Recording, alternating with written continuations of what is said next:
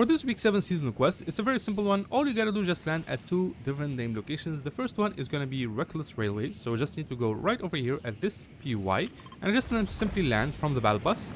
So we're gonna go ahead and land. Now it doesn't really say that you need to do this in the same game or uh, like uh, consecutively. So we're gonna do it in two different games because that's that is actually the fastest way to do it. So once you land here, so we've landed, and now we're just simply gonna exit, and we're gonna go ahead into a different game. Alright, here we are. Now we're just gonna jump off and make our way to Fencing Fields, which is gonna be located right over here. You probably landed here before, fighting the uh, the new uh, boss Nisha. So this is like one of the most highly contested POIs ever, in my opinion. There's always somebody hiding, like a rat, especially inside the like uh, the sewer system, like underneath, or the basement system, I suppose. And we're just simply gonna land here.